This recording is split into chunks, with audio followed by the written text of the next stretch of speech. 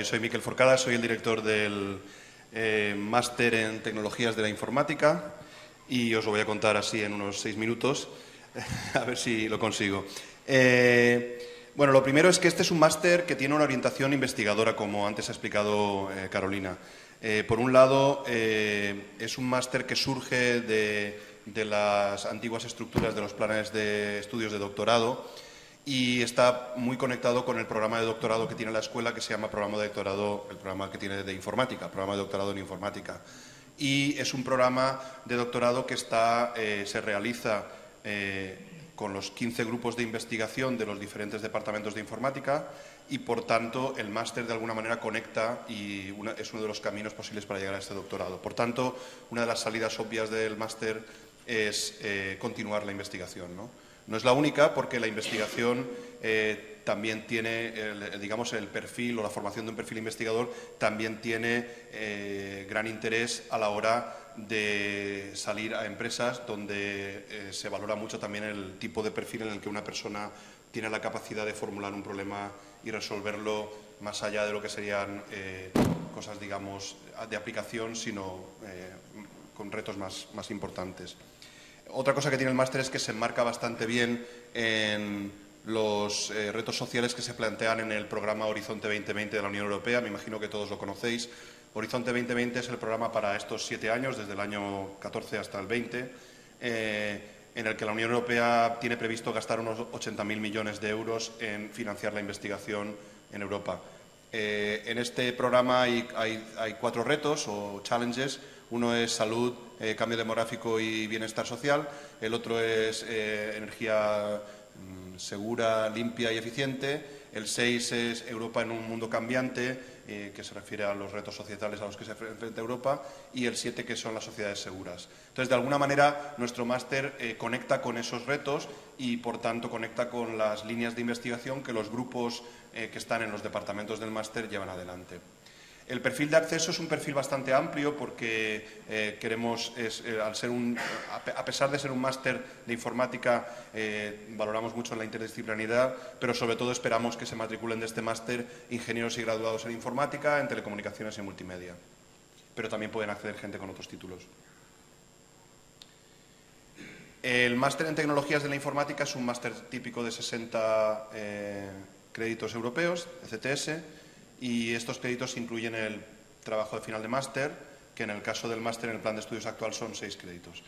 Eh, el máster tiene una gran optatividad, eh, eh, ofrece en todos los departamentos del máster, ofrecen optativas en los diferentes temas de tecnologías de la informática y solamente hay cinco asignaturas obligatorias. Entonces, de alguna manera, cada uno puede hacer un poco el, máster como, le resulte más interesante para el, el perfil que quiere tener a la salida. Otra cosa importante es que el máster tiene una, está muy internacionalizado, tiene una vertiente importante de internacionalización. En concreto, ocho asignaturas, de las cuales una obligatoria, se imparten en inglés. Eh, eh, muchos de los grupos tienen estudiantes que provienen de muchos sitios del mundo.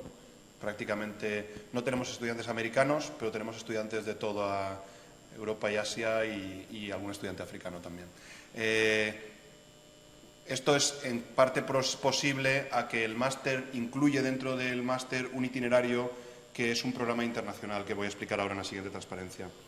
Eh, tenemos un programa internacional de máster, que es un máster franco-español, eh, entre la Universidad de Alicante y la Universidad de la Universidad Jean Monnet, que es una universidad que está en Saint-Étienne, una, población que no está muy lejos de Lyon, por el centro de Francia, más bien cerca de los Alpes. Y eh, el máster, este, este, itinerario consiste de asignaturas que se dan aquí y algunas que se convalidan por asignaturas que se cursan en, en Saint-Étienne. Eh, el, itinerario tiene 120 créditos porque da lugar a dos títulos de máster. Es decir, si uno se matricula de nuestro máster, pero se matricula a través del MLDM, adquiere al acabar la formación dos títulos de máster. Un título de máster eh, por la Universidad de Alicante y otro por la Universidad de Jean Monnet. Eh, tiene, por tanto, 120 créditos y el coste no aumenta demasiado porque el coste del máster en Francia es nominal, es prácticamente, básicamente el seguro escolar. O sea que es el coste que tenga aquí, que como ha dicho Carolina está todavía por ver, pero podéis imaginaros que estará en torno a los 2.000 y pico euros, porque son 60 créditos a 40 euros el crédito. Y, eh, más 600 euros de lo que cuesta la parte francesa. Entonces, la estructura del máster, para los que quieran cursar este itinerario, que es el que tiene más alumnos en el máster, el primero y el segundo cuatrimestre se hacen en, en Francia y el tercer cuatrimestre se hace en la Universidad de Alicante y el cuarto se hace donde uno quiera porque es donde hace el trabajo de final de máster o la estancia final de máster. Eh, existen becas de movilidad para que los alumnos que puedan, eh, que quieran hacer este máster puedan ir para allá. En la actualidad no tenemos, este año no hemos tenido ningún alumno español en el máster conjunto, porque entiendo que es un esfuerzo considerable mandar a una persona fuera, pero este año vamos a ver si podemos sacar al menos una beca para empezar a, pagar al menos eh, todos los gastos. Aparte están las becas de movilidad del Ministerio para, para másteres y en el caso del eh, cuarto semestre en el que se hace el trabajo final de máster eh, existe una remuneración. es decir, estos, estos, trabajos son remunerados, no son como prácticas no laborales, se remuneran, se, puede, se da una gratificación por los cuatro meses de trabajo.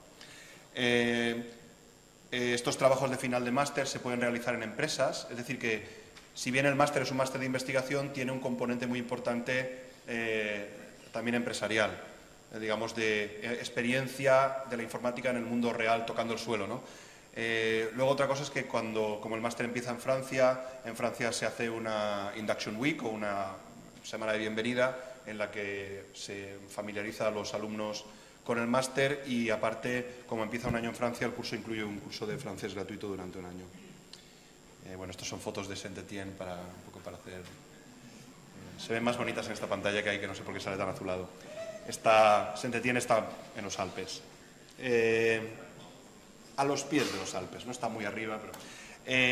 el máster este es un máster que da un perfil de investigación, desarrollo e innovación, pero sobre todo esto no quiere decir, por tanto, que la única salida sea continuar con nosotros, hacer el doctorado aquí con nosotros, que está muy bien, hacer el doctorado con los 15 grupos de investigación involucrados en el máster, sino que también, como digo, muchas empresas demandan un perfil investigador.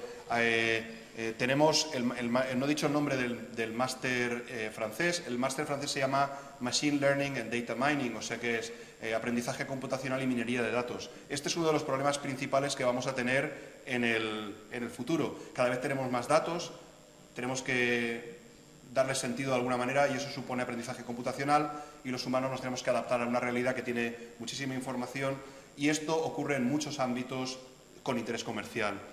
Eh, esto a veces se llama Big Data, eh, está también el tema de la web semántica, pero luego veis algunas de las empresas gordas que hay ahí, como Google Research o Microsoft Research, que podrían ser a donde irían los mejores de aquí probablemente. Y luego tenemos también empresas más de cerca como Telefónica y D o empresas como Bicontech y Promisit que están aquí en nuestro país.